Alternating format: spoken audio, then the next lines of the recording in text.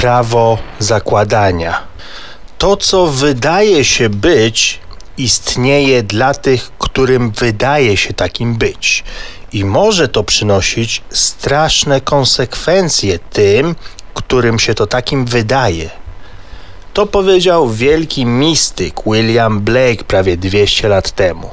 Z początku ten mistyczny klejnot może wydawać się nieco zawiły lub w najlepszym wypadku pewną grą słów, ale wcale tak nie jest. Słuchaj uważnie.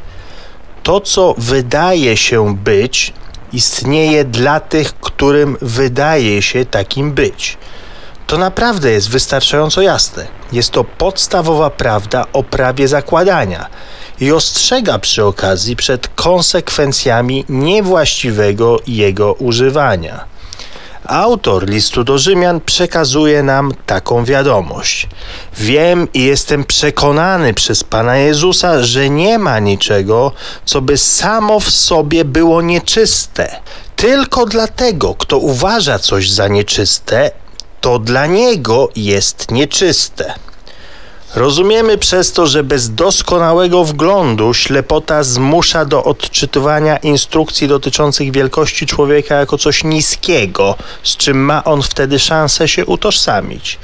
Eksperyment przeprowadzony przez dwa czołowe uniwersytety odkrył tą wielką prawdę na temat zakładania po dwóch tysiącach prób doszli do konkluzji, że to, co widzisz, gdy na coś patrzysz, nie zależy tak bardzo od tego, co tam jest, jak od tego, co też zakładasz, że może tam być. I to, w co wierzysz, że jest realnym światem, jest tak naprawdę tylko światem domniemywanym. Innymi słowy, nie będziesz określała tak swojego męża, jak twoja matka by to zrobiła, a jednak obie opisujecie wtedy tą samą osobę. Twoje osobliwe relacje w stosunku do pewnych rzeczy wpływają na Twoje uczucia poszanowania dla tych rzeczy i nakazują Ci widzieć pewne elementy, których tam nie ma. Jeśli Twoje uczucia w danej sprawie są składnikiem Twego ja, to mogą zostać oddalone. A jeśli są to trwałe rozróżnienia w tym rozpatrywanym stanie, to nie mogą być usunięte. To, co trzeba robić, to próbować. Jeśli możesz zmienić swoją opinię na temat kogokolwiek, to wtedy to, w co teraz wierzysz w jego przypadku, nie może być całkowitą prawdą, ale tylko względną prawdą. Człowiek wierzy w realność zewnętrznego świata, ponieważ nie wie, jak skupić się, by skoncentrować swoją moc, żeby przeniknąć jego cienką skorupę.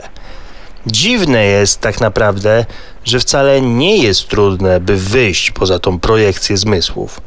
Aby usunąć zmysłową zasłonę, wcale nie potrzebujemy czynić wielkiego wysiłku. Świat obiektywny znika, gdy tylko odwrócimy od niego swoją uwagę. Musimy jedynie skoncentrować się na pożądanym stanie, by ujrzeć go mentalnie. Ale by nadać temu ton rzeczywistości by stał się on obiektywnym faktem, musimy skupiać swoją uwagę, zanim nie będzie on odbierany przez wszystkie zmysły i odczuwać go już wtedy jako rzeczywistość. Kiedy już dzięki skoncentrowanej uwadze nasze pragnienie wydaje się posiadać odrębność i rzeczywisty wymiar, i gdy ten myślotwór jawi się jako forma natury, dajemy wtedy prawo, by stało się to widzialnym faktem w naszym życiu. Każdy człowiek musi znaleźć środki najbardziej dopasowane do jego natury, by kontrolował swoją uwagę i potrafił skoncentrować ją na pożądanym stanie. Dla mnie najlepszym tłem do tego jest rodzaj medytacji, relaksu podobnego do snu. Ale jest to stan, w którym jestem ciągle świadomy i mogę kontrolować moje wyobrażenia.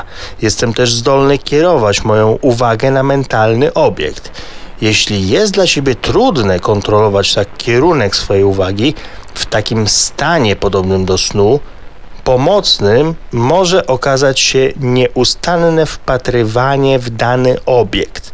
Nie patrz na niego powierzchniowo, ale raczej poza niego, na przykład poza ścianę, dywan czy jakikolwiek obiekt, któremu możesz nadać tak głębie.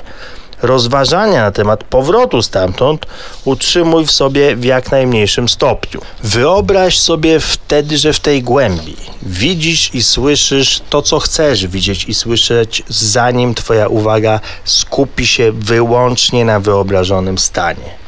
Na koniec swojej medytacji, gdy przebudzisz się z tego snu na jawie, będziesz czuł się tak, jakbyś powrócił z bardzo daleka.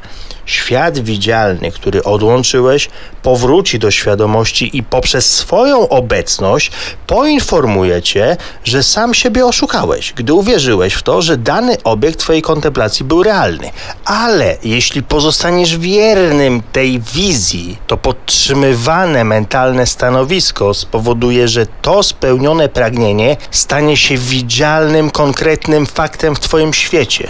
Zdefiniuj swój najdoskonalszy ideał i skoncentruj na nim swoją uwagę, zanim już utożsamisz się z nim.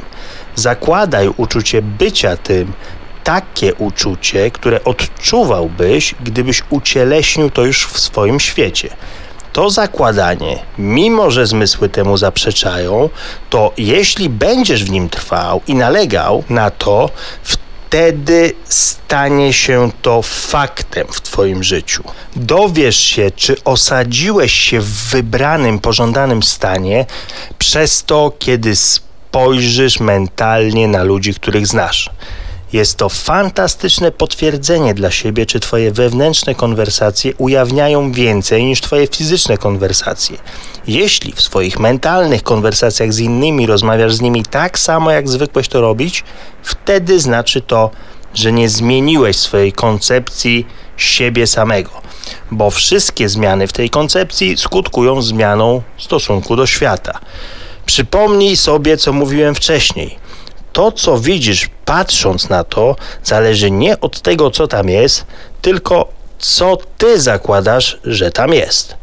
W związku z tym, zakładanie, że pragnienie zostało spełnione, powinno spowodować, byś widział mentalnie świat tak, jakbyś widział go fizycznie, w którym to założenie jest już faktem. Duchowy człowiek mówi do człowieka natury poprzez język pożądania. Klucz do postępu w życiu i do spełnienia pragnień leży w gotowości i posłuszeństwie w stosunku do tego głosu. Niewahanie się w byciu posłusznym temu głosowi jest natychmiastowym założeniem spełnienia pragnienia. Pożądać danego stanu jest posiadaniem go. Pascal powiedział: Nie szukałbyś mnie, gdybyś już mnie nie znalazł.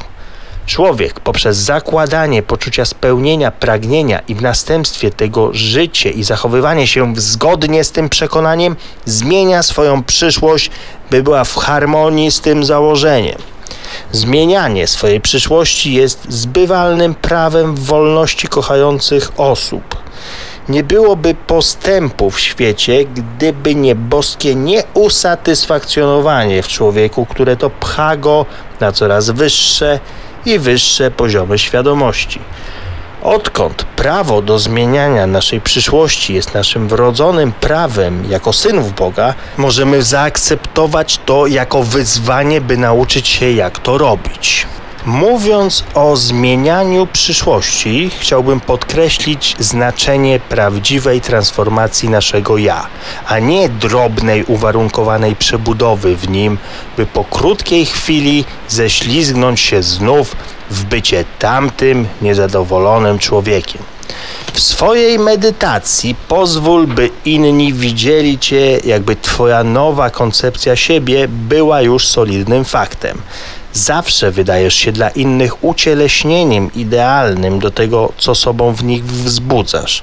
Jednakże w medytacji, kiedy kontemplujesz innych, musisz być widzianym przez nich tak, jakbyś chciał, by widzieli cię fizycznie, gdyby twoja koncepcja siebie była tym obiektywnym faktem.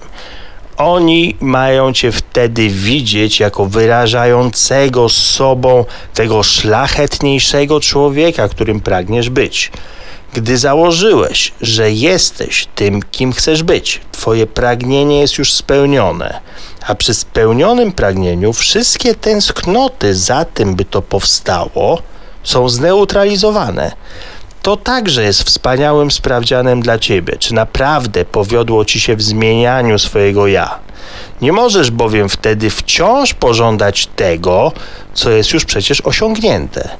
Prędzej będziesz w nastroju, by podziękować za ten otrzymany dar. Twoje pragnienie nie jest czymś przy spełnieniu czegoś musisz się trudzić. Jest to rozpoznanie czegoś, co już teraz posiadasz. To jest zakładanie czucia się jako istota, którą pragniesz być. Wierzenie i bycie są jednością. Wyobrażający jego koncepcja są jednością. I to, co sobie wyobrażasz, nie może być daleko, tak samo jak nie może być blisko, bo słowo blisko już oznacza jakąś separację. Jeśli możesz uwierzyć, wszystko jest możliwe dla tego, kto wierzy. Wiara jest substancją rzeczy, w których pokładamy nadzieję, dowodem na to, czego jeszcze nie widzimy. Jeśli zakładasz, że jesteś lepszy i szlachetniejszy, tak jak pragniesz, zobaczysz innych związanych z tym Twoim najwyższym założeniem. Wszyscy oświeceni ludzie życzą innym tylko dobra. Jeśli to, czego szukasz, to dobro innych, to musisz użyć tej samej kontrolowanej kontemplacji. W medytacji musisz ujrzeć innych takimi, jakimi życzysz im by byli. Jak i dla siebie, tak i dla innych, Twoje pragnienie musi być intensywne. To przez pragnienie wstępujesz ponad swoją obecną sferę, a droga od tęsknoty do spełnienia jest skrócona, kiedy doświadczasz wyobraźni tego wszystkiego, czego Twoim zdaniem doświadczyłbyś w ciele, w którym Ty albo Twój przyjaciel ucieleśnią to pragnienie, które masz dla siebie, albo dla niego.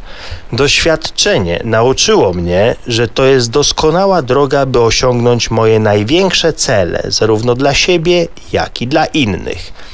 Jednocześnie moje własne porażki chciałyby osądzić mnie, gdybym sugerował, że opanowałem całkowicie kontrolowanie mojej uwagi. A mimo wszystko mogę powiedzieć za naszym dawnym nauczycielem, że bracia, ja o sobie nie myślę, że to już zdobyłem, lecz jedno czynię, zapominając o tym, co za mną, a zdążając do tego, co przede mną.